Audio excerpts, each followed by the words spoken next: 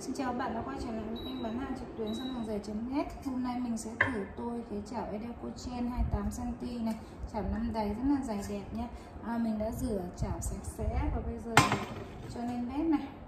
Chúng ta sử dụng một cái chảo rán thì chúng ta nên sử dụng một cái chảo Nó có cái ờ, độ rộng để chúng ta dễ dàng thao tác nhé Bước đầu tiên của chúng ta là sẽ làm nóng chảo nóng chảo nhá, và mình thử chảo nóng bằng cách này chúng ta cho nước vào đó.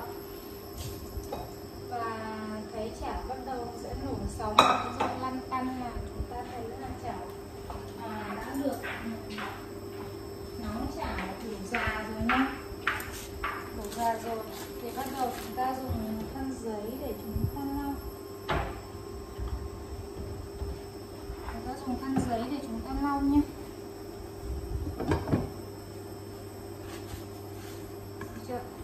và chúng ta bắt đầu hạ nhỏ lửa hạ à, cái mực à, nước nhỏ nhất. Cái mực à, chúng ta hạ cái cái nhiệt độ của bếp xuống mức nhỏ nhất có thể nhé rồi, và chúng ta cảm thấy là chảo của chúng ta có chút, một chút cái màu vàng rồi. Và bây giờ thì chúng ta đổ dầu ăn vào nhé để chúng ta tôi nhé cũng không cần quá nhiều đâu. Đổ ta đổ vừa đủ vào chảo là chúng ta cho tôi nhé đó.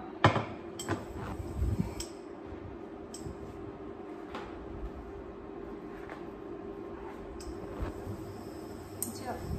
Và bây giờ chúng ta dùng à, vẫn dùng một cái khăn giấy cũ này. Ta lau chảo này. Làm thế này để à, dầu ăn sẽ bám vào thành chảo khi chúng ta sử dụng cái chảo inox này thì chúng ta có thể ờ, vừa dùng vừa rán vừa xào và để rán mà ờ, không bị sát dính và dùng như một cái chảo chống dính thông thường ấy ạ. Thì trước khi dùng chúng ta sẽ tôi chảo như thế này. Hoặc là chúng ta chỉ dùng để rán thôi thì ờ, thì cái cái thi thoảng chúng ta mới phải tôi lại thôi. Còn chúng ta sẽ càng dùng thì chảo nó sẽ càng chống dính tốt nha. Đó khi chúng ta sử dụng một cái chảo inox ờ, để chống dính ạ à để sử dụng như một cái chảo chống dính ạ, thì ờ, nó rất là tốt cho sức khỏe, nó sẽ không bị thui nhiễm khi cái men chống dính theo thời gian nó sẽ bị bong chóc ra ngoài. Thì chảo inox là nó sẽ không bị như thế nha. Đó. Và điều quan trọng để chúng ta sử dụng cái chảo inox này ờ, được như một cái chảo chống dính thông thường ạ, thì à, chúng ta nên để già lửa nhé chúng ta nên để già lửa thì chúng ta hãy hãy bán thì cái ờ, đồ của chúng ta nó sẽ không bị ờ, dính nhé và bây giờ mình sẽ thử rán với thử rán với độ phụ xong cái chảo của chúng ta sẽ lên thế nào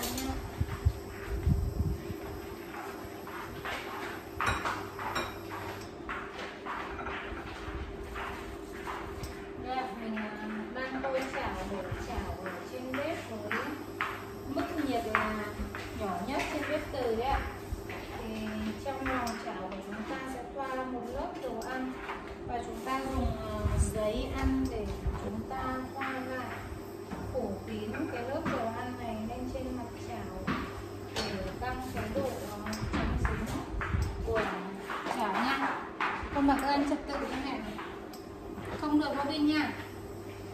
Được chưa? Và bây giờ nha à, sau khi cái chảo của chúng ta đã to rồi thì chúng ta thử sử dụng để ván đậu xong chúng ta sẽ thấy như thế nào nhé đây là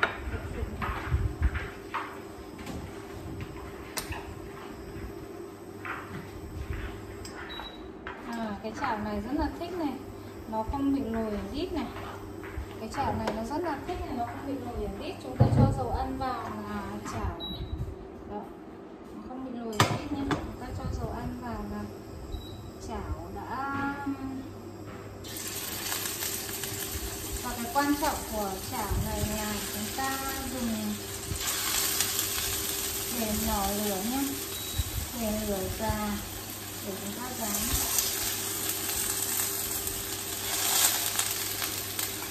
Có vẻ khá thành công nhé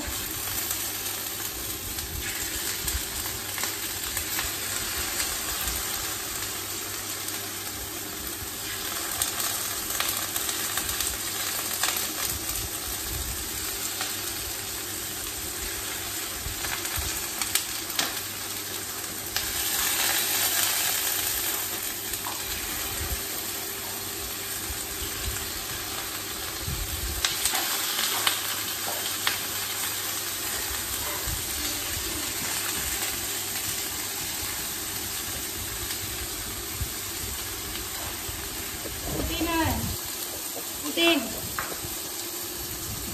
Putin ơi Cầm cho mẹ cái này đi.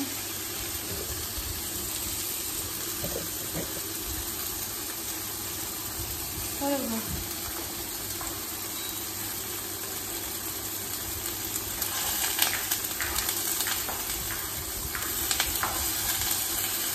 Đó.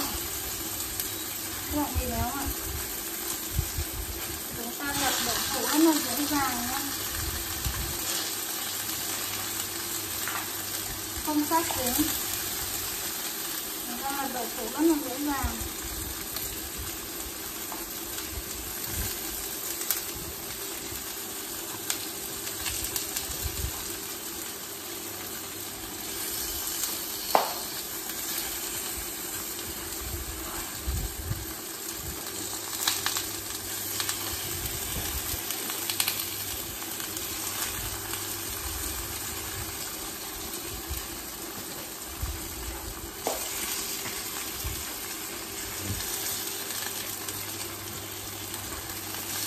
còn kẽ hơn thường thảo trứng dính với các bạn ạ.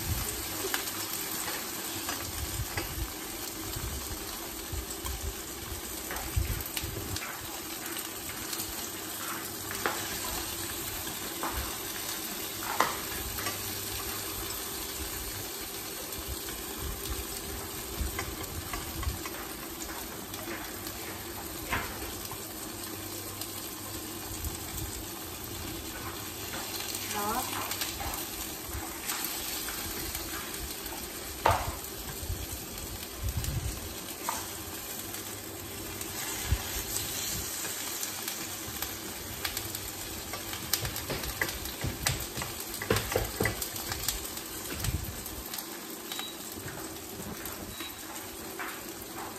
cái quan trọng của cái à, chảo này là chúng ta căn à, đủ lửa là chúng ta dùng được thôi, còn cái việc tôi chảo nó cũng chỉ là một phần thôi nhé chúng ta căn ờ, đủ lửa là chúng ta sẽ dùng để sợi để chảo vải mà nó thành, nó đã dày rồi.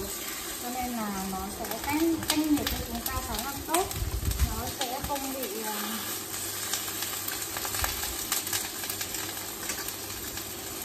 chảo của chúng ta nó sẽ không bị ờ, bị quá nhiệt đấy thường nếu mà dùng đồ inox mà chúng ta dùng đồ mỏng ấy nó sẽ bị ờ, uh, sát dính. Còn nếu mà chúng ta dùng ờ, cái loại chảo mà nó có độ ờ, dày tương đối thì chảo của chúng ta sẽ dùng rất là thích luôn. Đó các bạn nhìn thấy mình, mình rửa miếng đậu nó rất là dễ dàng luôn nhé